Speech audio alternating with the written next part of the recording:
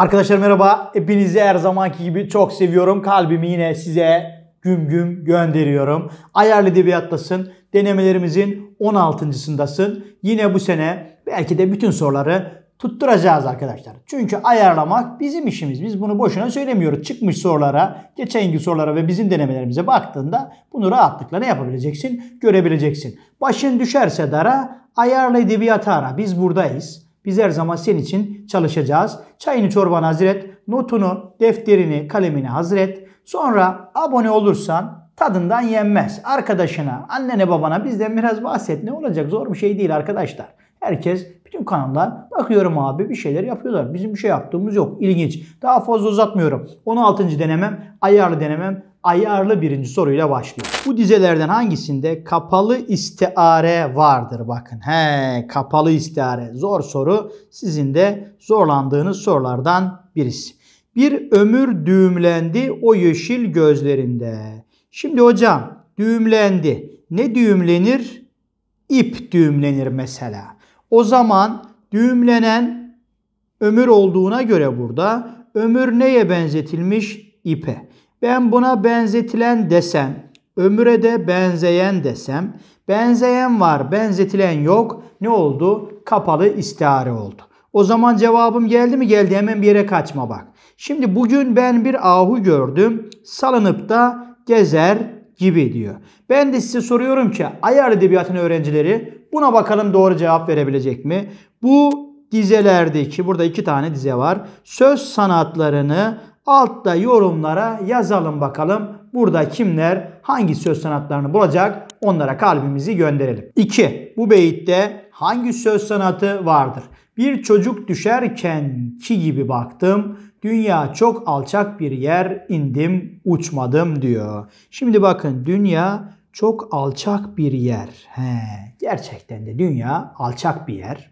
Bir de abi böyle alçaklıkların, yanlışlıkların olduğu bir yer anlamında ben ne yapabilirim? Bunu kullanabilirim. Yani hem gerçek anlam hem de mecaz anlam olduğu için burada tabii ki cevabımın kinaye olması gerekir. Tevriye iki anlamlık ama mecazlık yok. Tariz iğneleme, termi hatırlatma istiharinde biraz önce bahsettik. 3. Bu beyitlerle ilgili hangisi söylenemez? İki beyitte de ayrılık teması. Azmi sefer ettin dili naçarı unutma. Gittin güzel ama bu dili efkarı unutma. Abi unutma gittin ama unutma diyor. Tamam ayrıldık. Ne tende can ile sensiz ümidi sıhhat olur. Ne can bedende gamı firkatinde rahat olur. Sensiz diyor bu can sıhhat bulmaz. Tamam ayrılık olabilir. İki beytte de zengin kafiye ve redif. E, unutma, unutma. Naçar ı unutma, efkar ı unutma. E, bu ı unutmalar redif. Ne kaldı burada? Arlar tam kafiye kaldı. Burada sıkıntı var. Diğer beyte bakıyorum. Sıhhat olur, rahat olur, olur olur. Bunlar ne oldu hocam? Redif oldu. Sıhhat ve rahat, hat, hat. Bunlar zengin kafiye oldu. E hocam ne yok? İki seçenekli de zengin kafiye yok. Bu bir dursun bakalım. İki beyitte de aliterasyon ve asonans. Azmi sefer ettin dili naçarı unutma. Gittin güzel ama bu dili efkarı unutma. Ne tende can ile sensiz ümidi sıhhat olur, ne can bedende gamı firkatinde rahat olur. Bir ben vardır bende, benden içeri gibi. Mesela aliterasyonda ve asonansta o seslerin sıklıkla böyle ahenk oluşturacak şekilde karşımızda durması lazım. O yüzden burada da bir sıkıntı var gibi duruyor. Devam ediyorum. İkinci beyitte tenasüp sanatı vardır. Sıhhat, beden, ten, can bunlar olabilir tamam.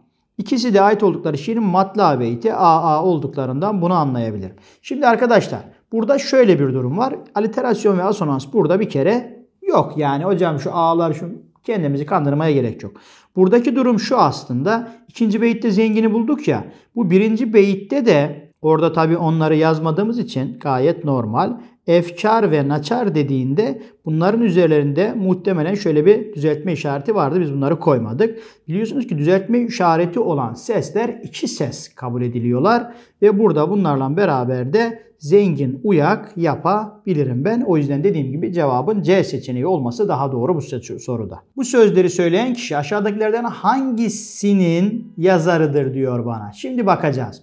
Türklerin görgülerini, bilgilerini göstermek için söyledikleri şiirlerden örnekleri kitaba serpiştirdim. Bakın söyledikleri şiirlerden kitapta demek ki örnekler var. Sıkıntılı ve sevinçli günlerde yüksek düşüncelerle söylenmiş olan ve ilk söyleyenden sonra kuşaktan kuşağa aktarılan atasözleri de kitapta var. Böylece kitap en üst düzeyde yetkinliğe ve mükemmel arılığa da ulaştı. Biz savların, saguların, yine koşukların ilk örneklerine nerede rastlıyorduk? Tabii ki Divan-ı Lügat Türk Kaşgarlı Mahmut'ta rastlıyorduk. O yüzden cevabımın B seçeneği olması gerekiyor. Bu soru çok sık soruluyor. Önemlidir. Kesinlikle bilelim. 5. Hangisi ayraç içinde verilen nazım türü ile uyuşmamaktadır? Şimdi güzelleme. Güzelleme neydi? Aşk, sevgi konuları vesaire işlenecek. Bakalım. Dinleyin ağlar metin edeyim. Elma yanaklım. Geç hocam. Nutuk ne yapacak? Tarikata yeni girenlere edep, ahlak verecek. E tamam geç hocam. Taşlama eleştirecek. Dünyanın gidişi acayip oldu. Koyun belli değil, kurt belli değil eleştirdi. İlahi gökyüzünde İsa ile Tur dağında Musa ile elimdeki asa ile çağırayım Mevlam seni ilahilerde Allah aşkı vesaire işlenebilir. Koçaklamalarda ne olması lazım? Yiğitlik, kahramanlık olması lazım. Yürü bire Bulgar dağı hemen dağlar sende mi olur? Yayla sümbülün yurtlar, büyük evler sende mi olur? Burada böyle yiğitlik vesaire olmadığını ne yapabildik? Gördük. 6. Bu dizelerle bir gazelin önce ilk sonra son beyti oluşturulmak istense sıralama hangisi gibi olur? Önce ilk beytini oluşturacağım. Bir kere şurada bir ne var? Mahlas var. He, demek ki mahlas benim ikinci beytimde olacak. Yani bir ikinci tarafta olacak hocam. Bakıyorum birin ikinci tarafta olduğu seçenekler C ve E seçenekleri. O zaman şu ikisini ben ne yaptım? Bir eledim. Daha sonra benim ilk beytim AA olması lazımdı. Ama üçüne de bakıyorum hepsi AA. O zaman biraz da anlam olarak ben ne yapacağım? Bunları birleştireceğim. Bakıyorum.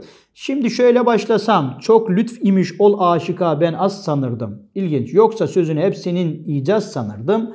Ayare nikah etmediğin naz sanırdım. Şöyle desem ayare nikah etmediğin naz sanırdım. 4. Sonra çok lütif imiş ol aşıka ben az sanırdım. Tamam. Sonra sir ittiğin senden işittim yine nef'i Yoksa sözünü hep senin icaz sanırdım. O zaman bu işitmekle ne yapacağım ben? Sözü birbirine bağlayacağım. Yani birden sonra 3 gelecek. E buraya da 4 ile ne yaptı? 2 kaldı. Bir daha bakalım. 4A, 2A tamam. Sonra B, A şeklinde devam edebilir. Yani cevabım E seçeneği olur. Karışık bir soruydu ama biraz düşünmek lazım. Şimdi 7. Şeyh Galip'e ait düzeylerle ilgili olarak hangisi yanlıştır. Bakıyoruz. Nazım şekli müseddestir. Bakıyorum 1, 2, 3, 4, 5, 6. Altılı müseddes olabilir. Nazım türü naattır. Sen Ahmet-i Mahmud-u Muhammed'sin efendim. Tamam peygamber efendimize övgü falan vardı naatlarda. Düz kafiye şeması A, A, A, A tamam olabilir. Sıkıntı yok. Şarkı nazım şeklinde yazılmış bir münacaattır. Münacaat Allah'a yalvarış yakarışın olduğu şiirlerdi. E, hem naat hem münacaat bu bir olmaz. Bent nazım birimiyle yazılmıştır. Bunu da görebiliyoruz. Cevabımız D seçeneği olması gerekiyor. 8. Bakalım bu parçada söz edilen tür aşağıdakilerden hangisidir? Bu eserler öncelikle bir ön söz mukaddime ile başlarlar. Bu bölümde yazar Tanrı'ya hamd edip peygambere dua ettikten sonra kitabın niçin yazdığını anlatır. Burada bana bir şey çözdürmez. Mukaddimeden sonra biyografilere geçilir. He, biyografi güzel. Eserin çatısını meydana getirilen şairler bölümünde Osmanlı ülkesinde yetişmiş ve Türkçe şiirleriyle tanınmış şairlere yer verilir. Şairlerin biyografileri var. Hocam münşaat düz yazı, mektup. Menkıbelerde dervişler var. Tezkirelerde şairler, biyografiler var. Surnamelerde düğün törenleri, sünnet törenleri var. Kıyafetnamelerde de benim kıyafetime bakıp iç özelliklerim hakkında, kişiliğim hakkında ne yapıyorsun? Yorum yapıyorsun. Cevabım D değil. Tabii ki C seçeneği oldu. Geldim 9'a. İçerik özellikleri dikkate alındığında parça Karagöz oyununun hangi bölümünden alınmış olabilir? Karagöz oyunundan, orta oyunundan ÖSYM'de sorular bildiğiniz gibi geliyor arkadaşlar. Şimdi bakalım. Hoş geldin keçi suratlı. Bir kere hoş geldin keçi suratlı diye Karagöz oyununun başlamayacağını herhalde biliyoruz. Geliverse karşıma o söylese ben dinlesem ben söylesem o dinlese. Karagöz şu hacivat da benden bir temiz dayak yese penceresinden bakın daha direkt meydana inmemiş. Hacivat ikimiz de söyleşirken Bizi temaşaya tenezzül eden ahibba safa yap olsalar diyelim. İşimizi Mevlam rast getire. Yar bana bir eğlence medet diye çağırıyor onu. Geliyorum patlama yar bana bir eğlence medet. Böyle gidiyor arkadaşlar. Şimdi mukaddime oyunun giriş bölümüydü. Bu direkt giriş bölümü değil. Giriş bölümünde ne yapılıyor arkadaşlar? Bir nareke var kamıştan yapılan düdük. Onunla beraber onun ötmesi çalması vesaireler oluyor burada kere tekerleme diye bir bölüm zaten Karagöz'de yok. Bitiş bölümü olmadığını anlamadı, anladık zaten. E fasıl, e hocam asıl daha bölüm başlamadı. Karşılıklı konuşmaya başladıkları bölüm muhavere bölümü olarak kabul edilebilir. 10. Hangisi bu dörtlüklerin ortak özelliklerinden birisi değildir? Aynı kafiye düzenine sahip olma. A, A, A, B. Sonra A, A, A, B. Hocam şimdi diyeceksiniz ki niye buna B dedin? Bakın mert im, dert im, kurt um, sakınır ım. Bu başka bir şey. Bunlar isme gelen ekler. Bu başka bir şey arkadaşlar. Bu onlarla redif oluşturmadı zaten. Tamam. Ait oldukları şiirin son dörtlüğü olma. Cevheri var, karaca olan var. Tamam. Mecazlı bir anlatım buradan çıkarabilirsiniz. Sıkıntı yok. Zengin kafiye ve redif buna bakalım. Bir pek beter, öter, yeter. Şimdi yetmekten yeter. Ötmekten öter, betmekten beter falan bu biraz zor. Merdim, derdim, kurdum. E bu imleri burada redif aldığında ert, ert, urt kaldı. Burada RD'lere mecburen tam kafiye diyeceğim. O zaman burada zengin kafiye biraz sıkıntılı. Hece ölçüsüyle zaten karaca olan gevheriyi buradan çıkarabilirsiniz. 11. Bu parçada boş bırakılan yerlere aşağıdaki sanatçılardan hangisini sırasıyla getirebiliriz? Eski şiirde bir nokta nokta Türkçesi vardır diyor. Büyük Sufi, coşkun ruhundaki ilahi aşkı böyle bir aşk içinde dile gelmiş saf ve samimi bir Türkçeyle söylemenin sırlarını bulmuştur. Şimdi arkadaşlar burada bakıyorum Baki'de böyle Sufi, ilahi aşk falan olmaz. Mevlana olabilir, Yesevi olabilir. Karaca olan gitti. Bu üçü tamam bir dursun. Bir nokta nokta yine Türkçesi vardır diyor. 15. asrın Türkçeye vurgun şairi. 15. yüzyıl Türkçeye vurgun olacak. Bakıyorum şimdi Yunus Emre bir kere 13. yüzyıl. Şeyhi 15, Nedim 18. İki seçeneğe düşürdük. Sonra Eskişehir'de bir nokta nokta Türkçesi vardır. O da dikenli bahçelerde gül dermenin zevki ve şevki içindedir. Mecnun'un Leyla'yı sevmesi kadar e, Leyla ile Mecnun falan. Tabii ki burada Fuzuli'ye gideceğim. Cevabım E seçeneği olmuş olacak. Yine orijinal bir soru. Gelsin 12. soru hocam. Bu parçada hakkında bilgi verilen sanatçı aşağıdakilerden hangisidir? Öz şiir anlayışının milli edebiyat dönemindeki önemli temsilcilerindendir şiirde sözcüklerin sıradan yer alması yerine belli bir ahenk içinde düzenlenmesi gerektiğini savunur. Tek bir şiir dışında kalan şiirlerinde aruz ölçüsünü kullanmış. Bu şiirde ok. Ne olacak tabii ki cevabımız? Yahya Kemal beyatta olacak. Sakın Tevfik Fikret Şermin'e gitmeyin. Çünkü öz şiir Yahya Kemal, Ahmet Haşim önemli. 13. Bu parçada edebi kişiliğiyle ilgili bilgi verilen sanatçı aşağıdakilerden hangisidir? Aruz kalıplarını yeni kalıplara sokmuş. Bazen aruzece karışık şiirler, bazen de kafiyesiz şiirler denemiştir. Bunun ilk örneklerini veriyordu. Felsefi huzursuzluk, kader karşısında aciz kalanların dramı, tabiat gibi konuları Türk şiirine getirmiştir. İlk pastoral şiiri yazmış. Doğu ve Batı'da uzun yıllar elçilik yapan sanatçı bu iki kültürü çok yakından tanıma fırsatı bulmuştur. Kimden bahsediyor? Bütün bunları topladığımızda Abdülhamit Tarhan'dan bahsediyor. 14. Cenab Şahabettin'le ilgili olarak hangisi yanlıştır? Şiirlerinde kullandığı şekil özelliklerinden dolayı dekadanlıkla suçlanmıştır. Ahmet Mithat bunları dekadanlıkla suçluyordu. Düz yazı türünde de eserler vermiş var. Triyak sözleri falan var. Eserlerini sanat sanat için, Servet Fünun'da sanat sanat için. Şiirlerinde o güne kadar kullanılmayan yeni sözcükler bulmuş. Evet çok güzel. Elhan İştah'da bunun örneklerini görebiliyorduk. Bir Lahzai Tahahür adlı şiir ile dönemin yöneticisine olan kinini dile getirmiş. Abdülhamit'ten bahsediyor ama bunu yazan kişi Cenab-ı Şahabettin değil Tevfik Fikret olması gerekiyor. 15. Fecraati ile ilgili hangisinde yanlışlık var? Kulak için kafiye var. Söyleyişten çok konuya önem verilmiştir bakın. Söyleyişten çok konu. Yani konu mu önemli, söyleyiş mi önemli? Ahmet Haşim'i bir düşünün bakalım, bir dursun. Arzu ölçüsü evet. Fransız şairleri örnek alındı evet. Tabiat, aşk temaları işlendi bireysel konular evet. Hocam söyleyişten çok konu değil, konudan çok söyleyişe önem verilmesi gerekiyor. Geldim 16'ya. Aşağıdakilerden hangisi yukarıda kısaca konusu verilen eserlerden birinin yazarına ait değildir? Ateşten Gömlek Kurtuluş Savaşı'nı destanlaştıran eserdir. Tamam hocam. Kimin? Halide Edip. Yeşil Gece Reşat Nuri Güntekin. Nur Baba Yakup Kadri. Ankara Yakup Kadri. Bugünün saraylısı Refik Halit Karay. Cümlelere bakın. Kesinlikle önemlidir. Milli Edebiyat dönemlerinden ÖSYM soru sormayı sever. Uyanık olalım. Geldim 17'ye. Bilgilerle aşağıdaki yazarlar eşleştirildiğinde hangisi dışta kalır? Baba evinde çocukluk yıllarını. Baba evi kimin eseri? Orhan Kemal. Matmazel Noralia'nın koltuğu Peyami Safa.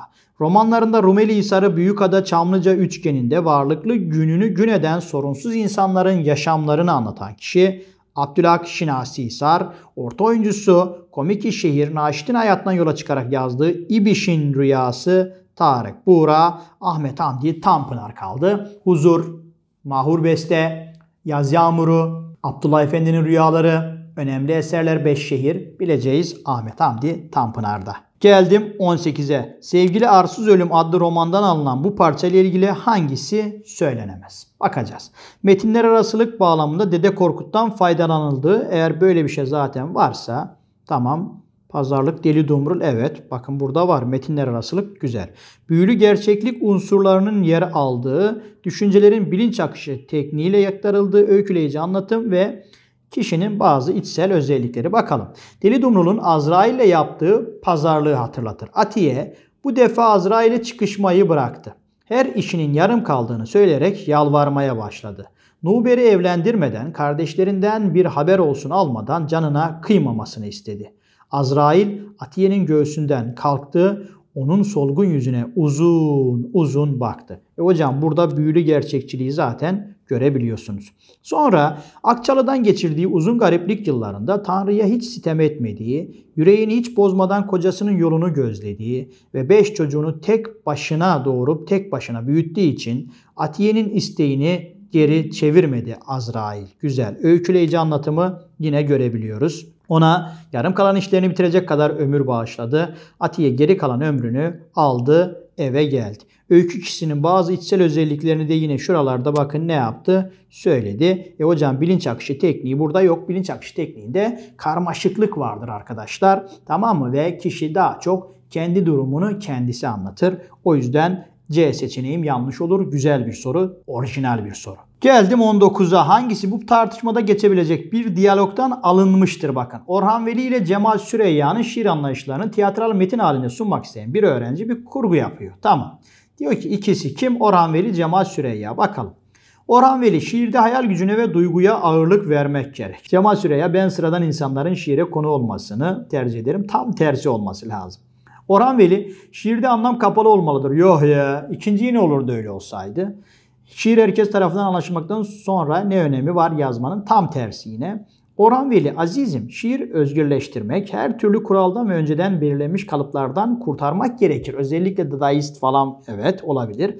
Ben de dilin alışılmış kalıplarını yıkmak, söz dizimini zorlamak ve değiştirmek tarafıyım. Tam da ikinci yeniciler gibi cevabım zaten geldi. Diğer seçenekleri de yine bakın arkadaşlar incelediğinizde mecazı süsü ve yapaylığı şiirden kaldırıp halk şiirinin anlatım ve deneyimlerinden faydalanmayı tavsiye ederim size. Cemal Süreyya divan şiirinden faydalanıyorum. Bu kadar bana kafi. Size de tavsiye ederim. Bu kadar kafi falan olmaz.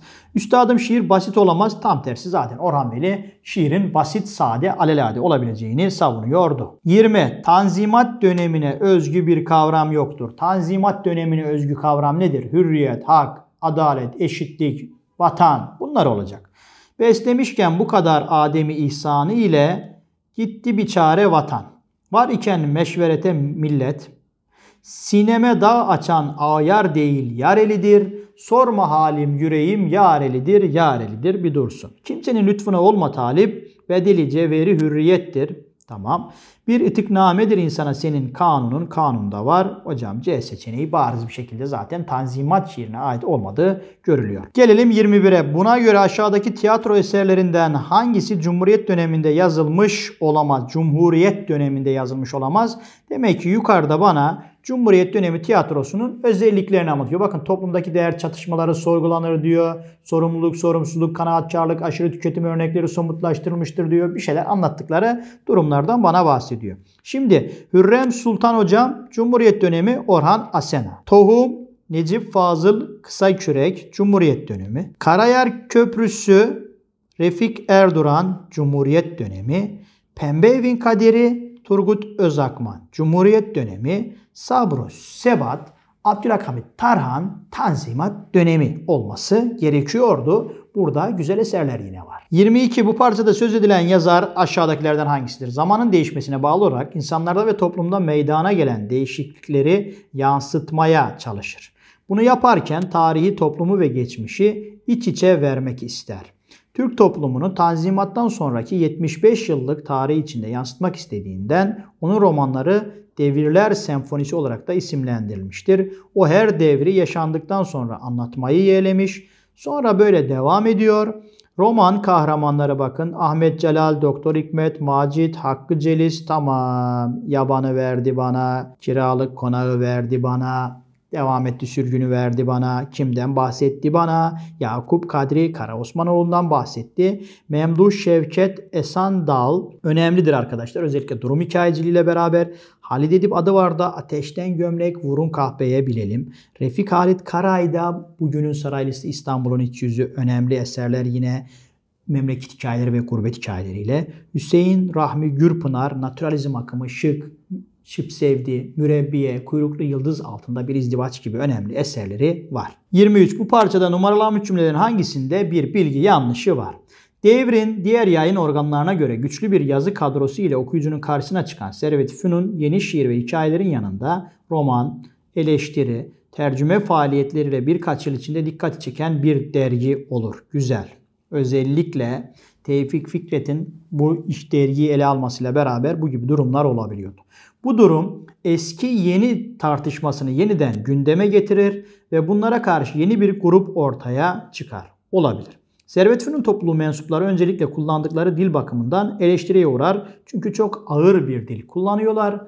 İlk önce Cenab-ı Şahabettin'in şiirlerinde kullandığı saati semenfam gibi ifadelere hedef alan Ahmet Mithat Efendi Sabah gazetesinde onları dekadan diye ne yapıyordu? Suçluyordu. Çok güzel. Daha sonra tanzimatçıların savunduğu sosyal fayda anlayışından farklı olarak sanat şahsi ve muhteremdir görüşünü hayırdır kardeş bildiriyle duyuran buradaki genç neslin büyük ölçüde örnekleri Fransız edebiyatçılardır. Evet buralar doğru ama sanat şahsi ve muhteremdir diyenler fecri aticiler idi. O yüzden 5. öncülümde yanlışlık oldu. Ayarlı edebiyatta akım sorusuyla denememi ayarlayıp olayı bitiriyorum. Boş bırakılan yerlere hangileri sırasıyla getirilecek? Edebiyat akımları belli bir grup sanatçının bir araya gelmesiyle ve ortak bir sanat anlayışını, güzellik kavrayışını, gerçeklik algısını paylaşmasıyla şekillenir. Bana ne hocam? Bana soru için hiç gereği yok.